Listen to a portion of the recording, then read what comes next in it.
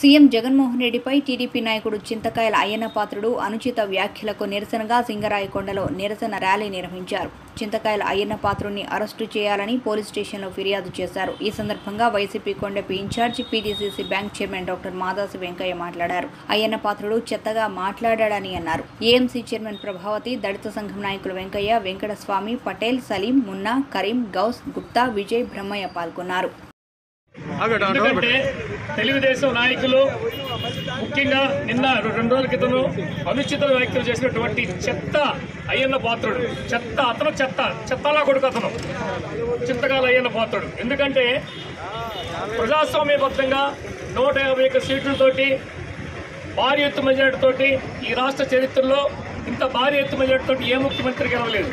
అలాంటి ప్రజాస్వామ్యబద్ధంగా గెలిచినటువంటి ఒక ముఖ్యమంత్రిని పట్టుకొని ఇలాంటి విధవలు ఇత ఈ విధవతరంగా చెత్త చెత్త మాటలు మాట్లాడటం అనేది ఎంతవరకు కరెక్ట్ అని చెప్పి చెప్పి నేను మాట్లాడుతున్నాను.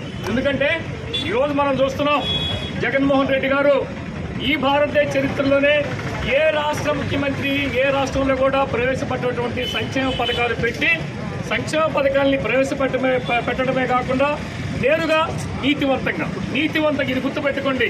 మధ్యలో దళారీ వ్యవస్థ లేకుండా మీ అకౌంట్లో పదివేల రూపాయలు పడుతున్నాయా లేదా? రాష్ట్ర ఆర్థిక వ్యవస్థ అస్తవ్యస్తంగా ఉన్న రాష్ట్రాన్ని దోచుకున్నాడు చంద్రబాబు.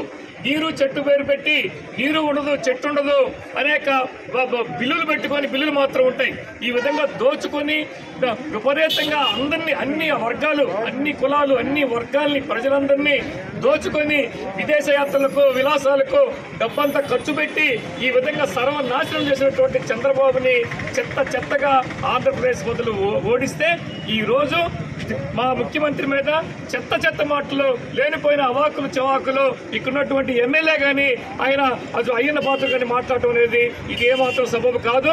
ఎట్టి పరిస్థితుల్లో ఈ రోజు మేము అందరం కూడా ఇక్కడ ఈ రోజు ఇక్కడ సిఐ గారు బర్మన్ మన పోలీస్ స్టేషన్లో ఆయనకి అయ్యన పాత్ర మీద ఒక దళిత సంఘాలు ఇక్కడ ఉన్నారు. ఒక దళిత మంత్రిని హోమ్ మినిస్టర్ని హోమ్ మినిస్టర్ మీద కూడా అనుచిత వ్యాఖ్యలు చేశారు.